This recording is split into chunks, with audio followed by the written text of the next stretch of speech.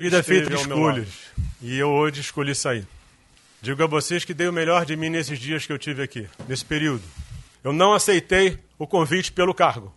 Eu aceitei porque eu achava que podia ajudar o Brasil e ajudar as pessoas. Obrigado.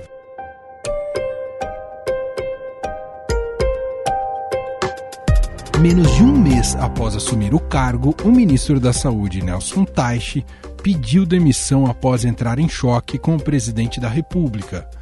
As mesmas divergências que Jair Bolsonaro tinha com Luiz Henrique Mandetta contribuíram para a saída do titular da pasta, o uso da cloroquina e o isolamento vertical. Sobre o medicamento, a principal pressão sofrida por Taishi era para que se mudasse o protocolo do uso da substância defendida pelo presidente. Hidroxicloroquina. Então, conversei ontem com, com o ministro Teixe, né? Teixe, né?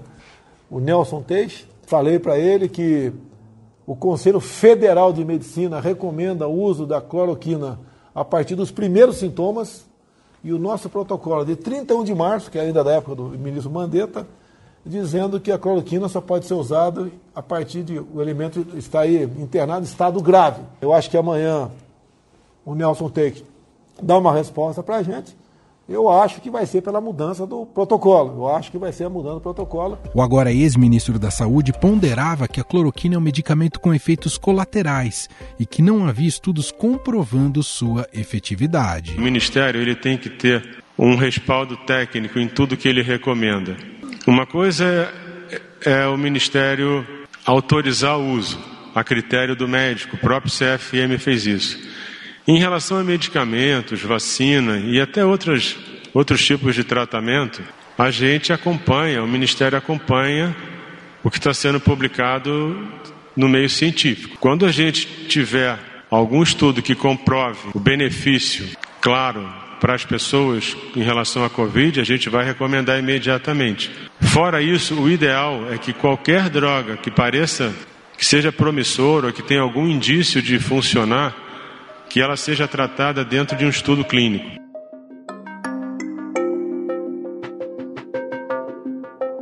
Alçado a chefe interino do Ministério da Saúde, o general Eduardo Pazuello deve assinar o novo protocolo da pasta que libera o uso da cloroquina até mesmo em pacientes com sintomas leves da Covid-19. É importante ressaltar que o uso da cloroquina segue sendo estudado por vários países, mas pesquisadores ainda não conseguiram encontrar resultados conclusivos sobre sua eficácia. Cada vez mais, Bolsonaro exigia também uma mudança de entendimento sobre isolamento social. Para o presidente, era necessário reativar a economia. Nós temos que ter coragem de enfrentar o vírus. Está morrendo gente, tá. Lamento, lamento, lamento mas vai morrer muito. Muito, mas muito mais. Se a economia continuar sendo destroçada por essas, por essas medidas, tem que reabrir. Nós vamos morrer de fome. A fome mata. Nelson Teich nunca defendeu abertamente o isolamento vertical requerido por Bolsonaro. Quando eu digo para você que a gente vai ter que mapear no dia a dia, isso não quer dizer primeiro que a gente vai voltar, vai sair amanhã e que alguém defenda o isolamento ou não. A gente defende o que é melhor para a sociedade. Se o, se o melhor para a sociedade for o isolamento e tiver que ser o isolamento, é o que vai ser. Vale lembrar que o isolamento é a forma mais eficaz, segundo cientistas e autoridades sanitárias, de conter a propagação acelerada do vírus.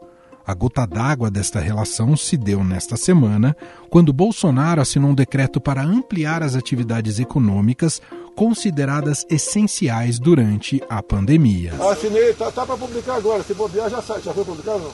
Porque saúde é vida. Tá? Academias, é salão de beleza e cabeleireiro também. Isso aí é higiene, é vida. Nelson Teich não foi comunicado sobre o decreto e passou por uma saia justa durante coletiva de imprensa. Foi uma decisão do presidente, decidiu isso aí, isso, isso aí saiu hoje, isso. Falou agora. Decisão de quem é quem é, é, é manicure, academia, barbearia. Barbearia, salão de beleza e academia. Isso passou pelo Ministério da Saúde? Não, isso aí não é. Acho que isso... não, não. Não passou, não é atribuição nossa. Isso aí é uma decisão do presidente. Após essa coletiva, o Ministério não realizou outros encontros com a imprensa. Além dessas discordâncias com o presidente, Nelson Teich não conseguiu montar sua própria equipe e vinha sendo tutelado pela ala militar do governo, como revelou o Estadão. Na última semana, ao menos 10 nomes ligados às Forças Armadas assumiram postos estratégicos na pasta. Governadores, partidos políticos e entidades médicas demonstraram preocupação com as sucessivas trocas no Ministério da Saúde e teceram críticas à atuação do presidente no combate ao coronavírus. O governador de São Paulo, João Dória, foi um dos que não poupou as palavras contra Jair Bolsonaro. Eu primeiro quero lamentar a saída do, do ministro da Saúde, Nelson Tais, é o segundo ministro da Saúde, que num prazo uh, de 90 dias uh, deixa a função pela desordenação do governo Bolsonaro.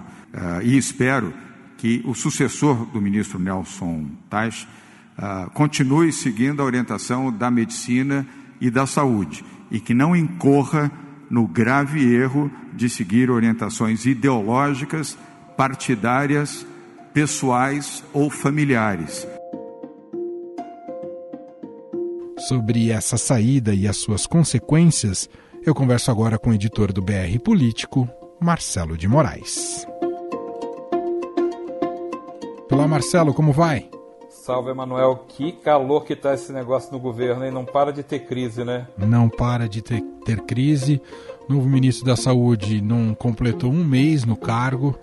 Ah, é bem verdade que não teve muito protagonismo, não conseguiu implementar quase nada que, enfim, surtisse efeito, ah, não gerou uma grande coordenação no país.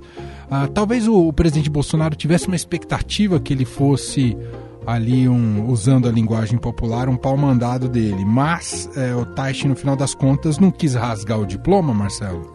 Foi bem isso, Manuel. Acho que você definiu bem. Na verdade, quando ele escolhe o Nelson Taishi, que é um oncologista, ou seja, é um médico com uma reputação é, reconhecida entre os pares dele, ele quis dar uma qualificação para a substituição de Luiz Henrique Mandetta. Mandetta era muito popular, quando o Mandetta é demitido porque dá trombada todo dia, justamente por divergir de Bolsonaro na condução do combate ao coronavírus, ele sabia que não podia substituir um, uma personagem tão é, popular e estava tão importante naquele momento por um qualquer, né? Então ele traz um médico que era um dos integrantes da campanha de Bolsonaro, ou seja, alinhado com o seu pensamento, apoiador de Bolsonaro, que é o Nelson Tachi. Nelson Tachi chega, já surpreende muita gente com aquele perfil completamente diferente do Mandetta, Mandetta super extrovertido, um político, né? Mandetta é, tinha sido deputado federal duas vezes, então ele tinha aquela habilidade e claramente sabia usar é, o, o, aquele espaço que, que ele ocupava para falar sobre o coronavírus, também sabia usar politicamente, era carismático, falava bem,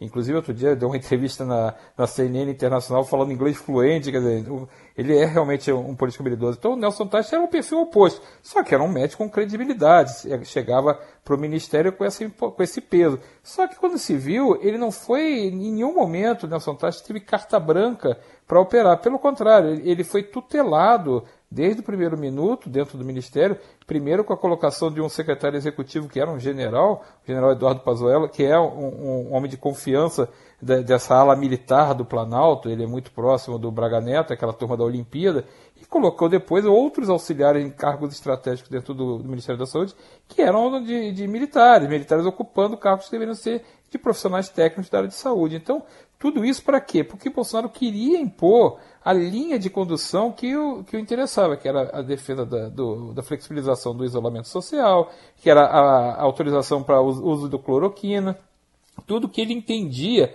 é, por pressão política, por influência do, dos amigos, dos, dos, filhos, dos aliados, mas ele entendia que, que era a coisa mais é, adequada para usar no combate ao coronavírus. Só que os mortos vão se acumulando e o ministro Nelson Tach, que estava tentando ali, mais ou menos ele falava isso nas coletivas que ele dava, nas entrevistas que ele dava, tentava ter mais informações para conhecer. Não era um bom ministro, não estava tendo um bom trabalho no ministério, o, o, o, parecia que tinha uma certa apatia na condução do ministério, mas era uma pessoa que entendia de saúde.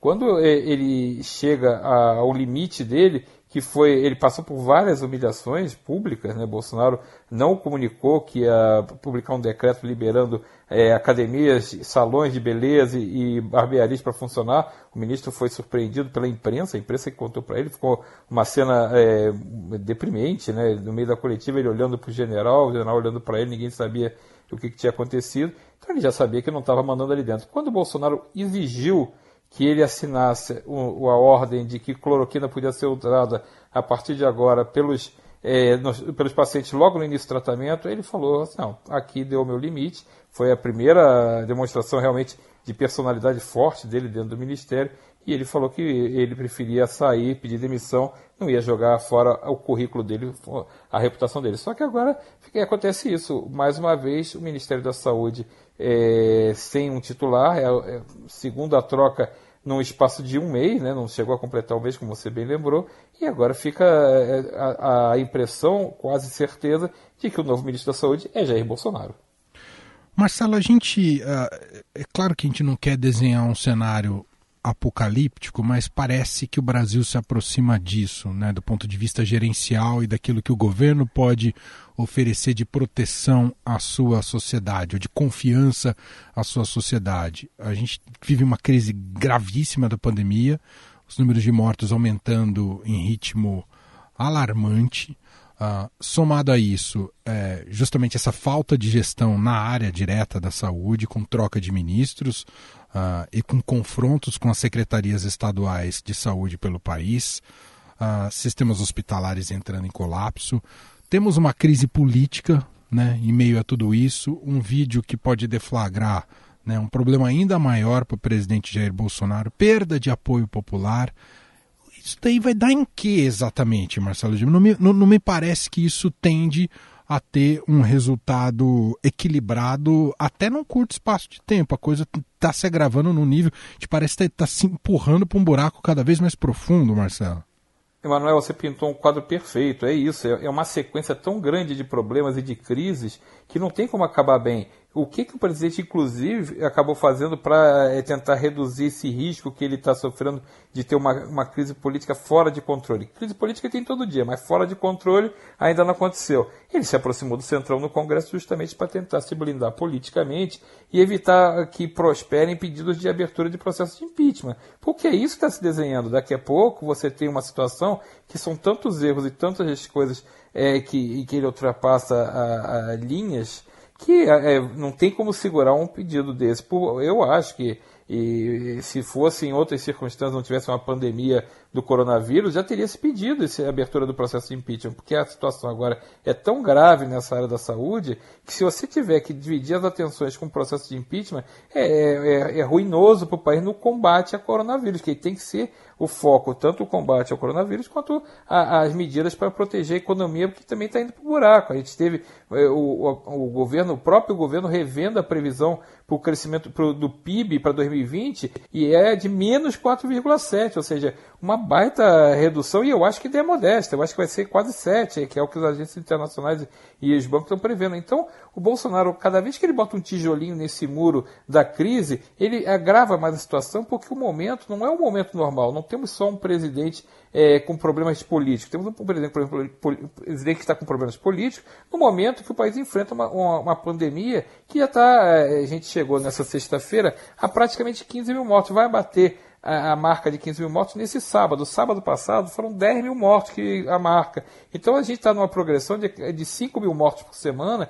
É uma crise sem, sem eh, nada parecido aconteceu com isso no Brasil. Então, quando você tem um presidente que não mede consequências nessa condução da política dele, e como você lembrou, não é só nessa área da saúde que ele está tendo esse problema. Ele tem esse, esse vídeo, esse processo, esse inquérito que o Supremo está analisando com as denúncias do ex-ministro Sérgio Moro, acusando de interferir na Polícia Federal, que está acontecendo. O que já saiu de informação pela própria AGU, trechos dessa reunião ministerial que Sérgio Moro citou como sendo uma das provas que indicam a interferência, são trechos gravíssimos, onde ele já fala, já deixa claro essa linha que ele adotou agora na saúde, de interferir, de fazer uma intervenção na, na Polícia Federal e na segurança, na, na, área de inteligência, no Rio de Janeiro também. Então é o que ele está fazendo na saúde e é o que ele está fazendo em todos as, as, todas as áreas do governo dele. Na verdade, Bolsonaro está cada vez mais centralizador, o que é grave, é sinal de que ele está se isolando. Quando você se isola politicamente, quando você se isola dos seus aliados e se cerca apenas de alguns grupos,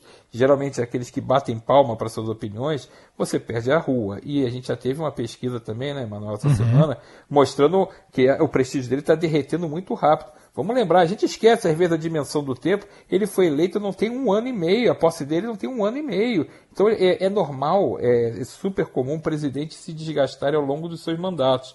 Não com um ano e meio. Um ano e meio atrás ele tinha sido eleito, o capital político lá em cima.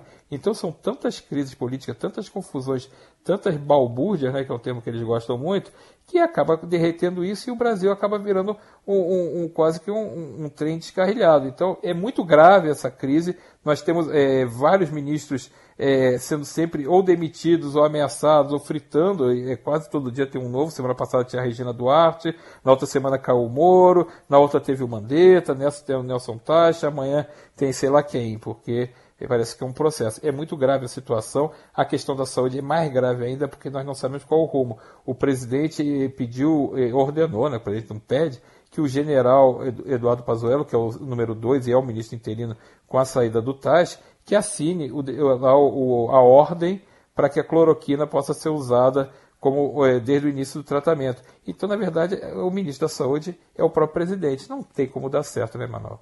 Verdade, infelizmente. Bom, esse é Marcelo de Moraes, editor do BR Político. Vale sempre a visita, brpolitico.com.br, analisando a saída do ministro da Saúde, Nelson Taixe, e aprofundando né, a crise em que estamos inseridos. Marcelo, muito obrigado e até uma próxima. Valeu, Manuel. Um abraço para todo mundo. Até a próxima.